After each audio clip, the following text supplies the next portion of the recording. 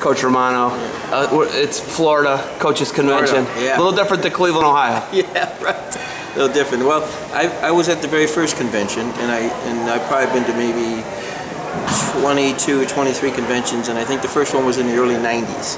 I remember back in 95, it was in Atlanta in conjunction with the World's Championships, but there was conventions uh, before that, and I think the first one was, I might be wrong in this, but the Pocono Mountains, I remember that being one of the first ones, early 90s. So I've been coming every year, except uh, a couple of years. So this is Yeah. to bring coaches together, to Yes. network, to do all types of things. Yes. Um, in looking at it, they always try and up their game here, and they're always Yes. trying to foster young coaches and Yes. mentor mentorship programs. You've been in the game as long as anybody who's at this convention.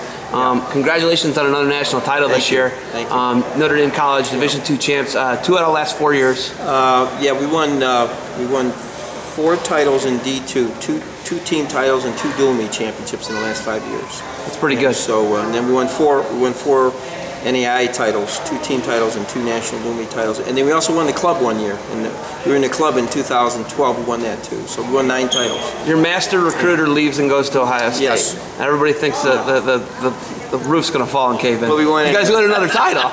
So who's really pulling the, the strings over there? You know, I've been doing this a long time, and uh, you know, and I'm my new uh, head assistant Jake Schwartz has done a great job recruiting. a West Coast guy comes Yeah, to Northeast Ohio, and that, that, He's that blows my mind. He's from the state of Washington, and we recruited him to be our grad assistant three years ago, four years ago now, and he did a great job being our GA. And and then Jake was done with his master's degree, and, and he was going to leave. And I said, I, I- you know, it's a great kid, and uh, and I said, Jake, I said, I said, uh, I don't want you leaving. I said, we're going to find you a job here. So there were no openings for our coaching, but we found him a job with the college as an admissions director. And then within a couple months, uh, Coach Ralph went to Ohio State and immediately hired Jake, and, and uh, I don't regret it one bit. Uh, he's done a great job, and we just kept moving. He didn't come on board until the middle or late November of this year, so uh, you know, and we had some some things that happened, like all teams, you know, with injuries and sickness and a whole bunch of other stuff. And then, but we pulled it together. We won the regional by a, a large a large margin, and we won the national tournament by I think 35, 40 points. So, you know, looking at it, you guys keep losing these top. You know, you lose Anthony. You- first off, you lose Joey Davis. Yeah. You don't lose him, but he graduates. Four-time champ. He's four-time champ. Um, a lot of points. You, you, you, you, know, the guy graduates in the program. Anthony Yes. goes to Ohio State. Yes. Okay, now you lose a guy, a, a national champ, to transfer Yes. to Nebraska. Isaiah White. Isaiah White. Um, Yeah. How do you guys keep reloading and keep doing it? Well, we, we, we do. The recruiting is the lifeblood, as any coach knows of any wrestling team, and we just keep stress. Like we're still recruiting now. We just we just got a verbal from um, from Lamar, uh, Lamar, Lamar uh, Williams. Williams, Williams. and- So you guys keep getting- Yeah, keep- we just just- signed a guy just two days ago. So you just keep getting guys, you keep reloading. Reloading. Uh, in looking at it, you talk about recruiting as the lifeblood. We're here at the Coaches Convention. Yes. They actually brought a, a recruiting event here, co- uh, Compound College Combine. That's big. You actually get to go and recruit guys today. What's Yeah. that mean to you to actually be able to go and see high school kids here at the Coaches Convention, mix mentorship in Yeah. with advancing the sport? Right. You guys are trying to win another national title. What's it like to be able to go watch It's that? really, it's really important because uh, you have to be recruiting all the time. I mean, in today's world with the social media the way it is, it's no downtime. Years ago when I would recruit, when I was at Kent State in the early 80s and mid 80s, um, you know, it would be like a certain defined period you would recruit. Today, it's it's pretty much year round because you, and you're recruiting juniors. Sometimes you're even looking at you know people younger than that, and um, and you have to stay up with it. And there's so many ways that people do it today, as opposed to just being on the phone or sitting in a gym and watching someone wrestle, which I did a lot of. And today, you don't, you know, you have the internet and you have all the social media, so it's, it's different and it's more time consuming, way more time consuming. Can you win again without uh, Isaiah going? Can yeah, you they're win going to without have to him? deal with us next year. We had eight people back from the ten that were in the national tournament, but know, really seven when we lose Isaiah. Uh, but we have people, and uh, I feel real confident in our team. I think, I think we have seven kids on the team that have been All Americans, and we have a returning national champion Ivan McClay at 25. We have the re- two returning runners up, um, Juwan Edmond and uh, our heavyweight uh, Cameron Teacher. They were both second. They're both young. Uh, the only senior we have on the team is Ivan McClay.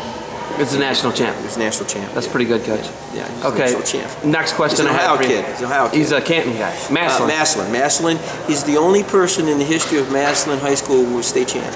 Washington, actually. Massillon, Washington. Massillon Senior, Washington. Yeah, the Tigers. Yes. They've had movies made about him in Yes. football. Football is their game. He's okay. the only one. Do you age? Doesn't look like it. well, I don't you look know like the same that. guy who coached me 20 years ago. Well, you know, uh, I try to stay in shape as best I can uh, because I think in, in our sport, you know, it's a young man's game, and you have to be viable. And if you're not viable, it's really hard. And but you have to have good staff around you, and I do. I have really good staff. We have the best staff now we've ever had. I have seven people on my staff. I have uh, an intern, a grad assistant, uh, four assistant coaches, two of them full time, Sonny, Sonny Marchetti. Sonny Marchetti and Jake Schwartz. So those, do those guys run most of the day-to-day operations? Would you Uh, say? yeah, they, they run the nuts and bolts. I run practice. That- That's my gig. I run practice. I, I dictate practice. I run practice. And if I can't do that, then you know that's that's my gig. That's what I do. And and I make the decisions. And if it comes to me and I have to make a decision, I make the decision. But but uh, everybody has a duty. Everybody has things that they're in charge of. And and as long as they're doing that, we're functioning. Because you know we have over 50 kids on the team.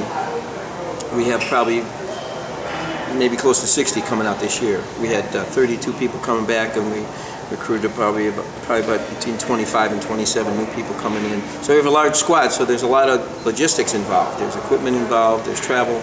I do travel. I do run practice.